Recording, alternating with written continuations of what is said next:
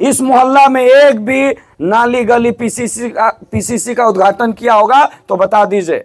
ये रोड भी ये गली भी उसी टाइम बना था जब चंद्र प्रकाश चौधरी थे।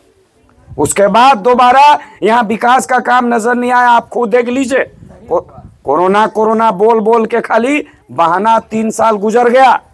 और अब जो है बहाना बचा नहीं है। फिर वो छोटे बच्चे को ला करके ममता दिखा करके वोट लेने का काम करेगा और ये ममता से आपको नहीं चुकना है।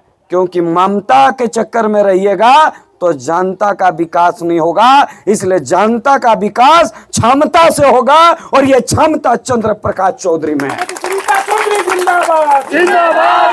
और आज आप और जब ममता आई तो इस तीन साल में रामगढ़ में रामगढ़ का कहीं विकास का नाम नहीं है, पटल पे आप देख लीजिए। लेकिन जब रामगढ़ में चंद्र प्रकाश चौधरी हुआ करता था तो बाकी जगह का पूरा झारखंड का जिला के लोग कहते थे, रामगढ़ में विकास कैसे हो रहा है? रामगढ़ में हर समय चंद्र प्रकाश चौधरी जो है, हर विभाग ले लेता है, लोग बोलता था। झारखंड का, अदर जिला का, जितना विधायक लोग बोलते थे चंद्र प्रकाश चौधरी हर समय विभाग में रहता है और सब विभाग हुआ उसी के पास रहता है।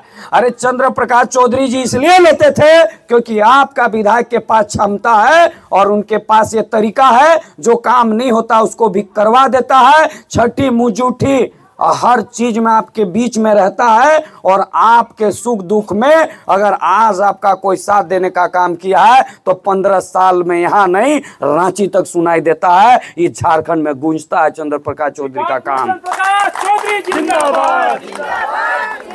और अगर आप अभी अगर आप अभी फिर से ये जो तीन साल गुजर गया आपके कई नली में ऐसा जाके देखिए जहाँ ये से नली जो बना है ना आप पता करिए, इसका इतिहास आपके गली नली में जो काम हुआ है, उनके समय काम हुआ है। और ये गली नली में कचरा भर गया आप सफ़ाई का भी काम नहीं हुआ है। ये तीन साल में कम से कम सफ़ाई भी तो होता। तो आपको ये सोचने की ज़रूरत है, आपको समझने की ज़रूरत है, और आपको इस बार फैसला लेने की ज़रूरत है। क्योंकि केला को जिताते तो झमेला नहीं होता।